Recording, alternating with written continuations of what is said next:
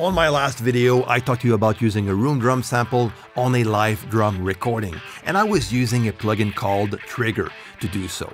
Now, in this video, I'm going to show you a very cool way you can do drum replacement by using all the tools we already have in Cubase. Hey, what's up, my friend? Chris Selim here from Mixdown Online. Hope you're good. Hope you're well. Let's jump right in Cubase and check what we have. Okay, I have a drum recording that was provided by EmilyDrums.com. This is not sponsored, but I just want to make a quick shout out to Emily for providing me with some very good recorded tracks. Okay, so let's have a quick listen to what we have.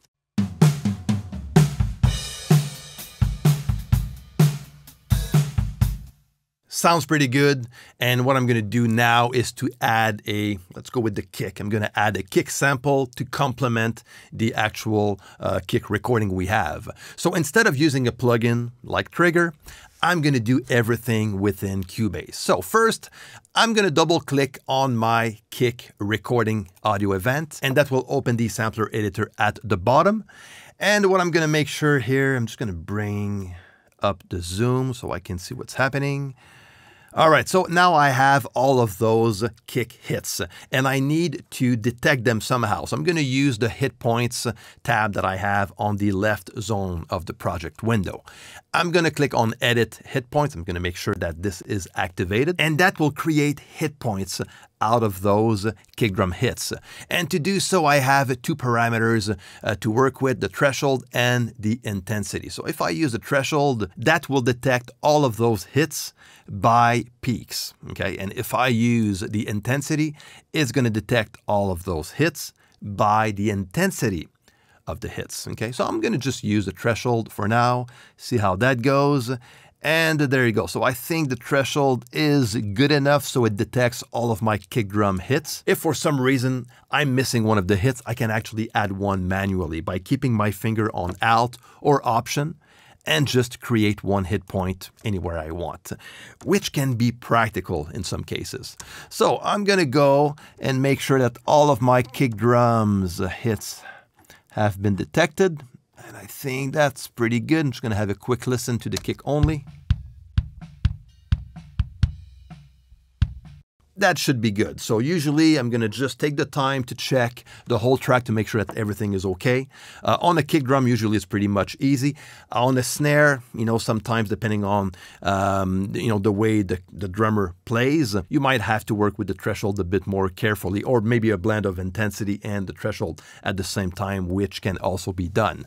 Um, so now I'm happy with uh, those detections. And what I'm going to do, I'm going to go back into uh, the hit points tab and go down at the bottom and click on create MIDI uh, notes, which is pretty cool. So uh, this will open the convert hit points to MIDI notes window. And I have two velocity modes I can choose from, the dynamic velocity and the fixed velocity. I'm going to leave it to dynamic because I'm going to use, um, for the samples, I'm going to use a drum virtual instrument. And usually with a VSTI, a drum VSTI, we have several samples samples per instrument. Like the kick drum will have several kick drum samples with different velocities.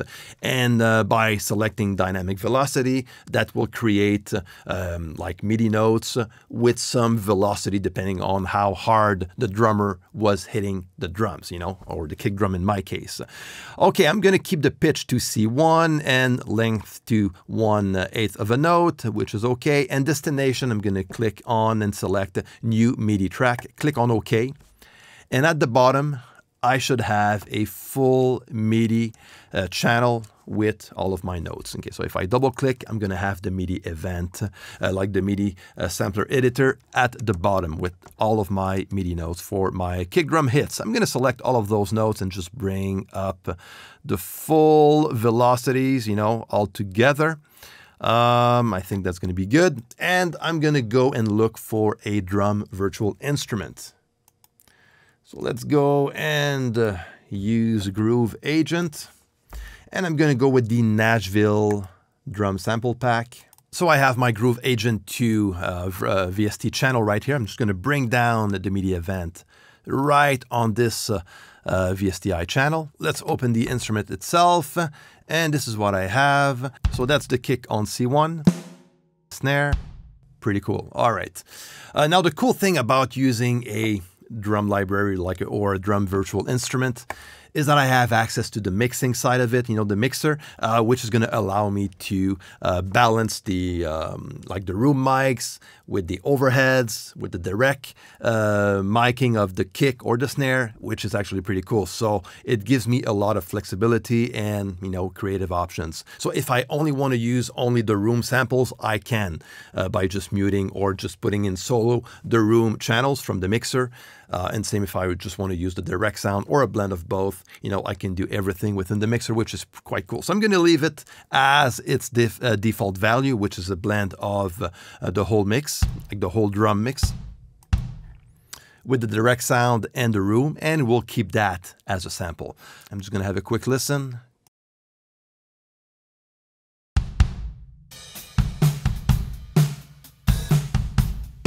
Okay, pretty cool. Something that I do all the time. Once I'm happy with the sound that I'm looking for, um, I'm going to bounce that into audio. Okay, and uh, let me just uh, use render in place quickly to do so. And there you go. So this is my kick drum sound. Let me bring that beside my kick drum recording. So what I'm going to do next is to make sure that the polarity is okay, because this is something that can happen by uh, when using and working with samples and real drums. So what I'm going to do is to just to listen to make sure that the polarity is good. Okay. It sounds way fatter when uh, the, the polarity is reversed on my on those samples so i'm going to keep it reversed and so again this is super important to check and also to maybe you know in some cases maybe the alignment is not uh, quite there so you can actually manually move uh, the wave uh, so it fits, you know, and works with the, the original recording. So this is something to check out. And even if you're not bouncing in audio, you know, you can do the same straight on the, uh, the virtual instrument channel.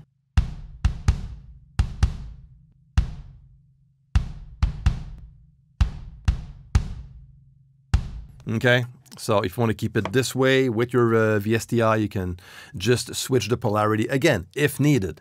Listen first, check which one sounds better and move on. Now, another option I have instead of using a virtual instrument, I can actually use, like if I have like one shot samples that I want to use, I can actually use the sampler uh, track uh, to do the same thing. So what I'm going to do is to go and choose one of uh, like a one-shot sample that I have here. Let's go with this one. And I'm just going to select a sampler control at the bottom. I'm just going to drag the sample straight into the sampler. And this is what I have. Then I'm just going to make sure that one shot right here on top is selected and also fix pitch is also selected. So this way the sample will play the same pitch on either keys you're hitting. And by activating one shot, it's going to play the full uh, sample recording. Okay, I deleted my MIDI event by mistake, so let's create a new one. This time around, I'm going to click on fixed velocity, keep that to 100, click on OK, and then I'm going to drag the MIDI event straight into the sampler track, and uh, there you go. Okay, pretty cool. So what I'm going to do now is to listen to the blend with the kick drum the actual kick to see if that works well together.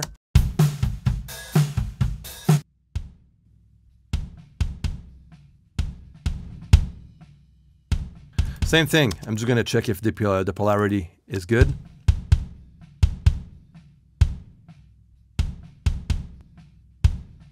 So that is another option you can use by using the sampler track, uh, which is super fast and easy to work with. You can also create an empty Groove Agent instance if you want to, and this is actually pretty cool.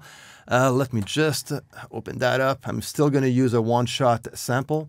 The same sample, I'm just going to drag it straight into an empty pad that I have right here.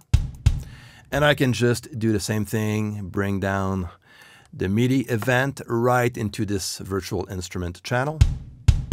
And it's going to do the same thing. The cool thing about using a virtual, like an empty virtual instrument like Groove Agent, is that you can load all of those pads with all of your favorite drum samples that you use on a regular basis. So you can have like one row for the kick drum, uh, like kick drum samples, the second one for snare drum samples, and load that up, save that as an instrument preset, and you're always going to have access to those different samples within one virtual instrument, which is actually super practical, especially when you work with the same samples over and over again. So this way, that can be a time saver. So there you go, my friend. This is how you can do drum replacement with the tools we have in Cubase. And if you have any questions or comments, you can leave everything down below. And if you're not subscribed to the channel yet, please do so. Subscribe to the channel, click that notification bell so you don't miss anything. Share and like if you enjoyed this video. Until next time, take care and see you, my friend.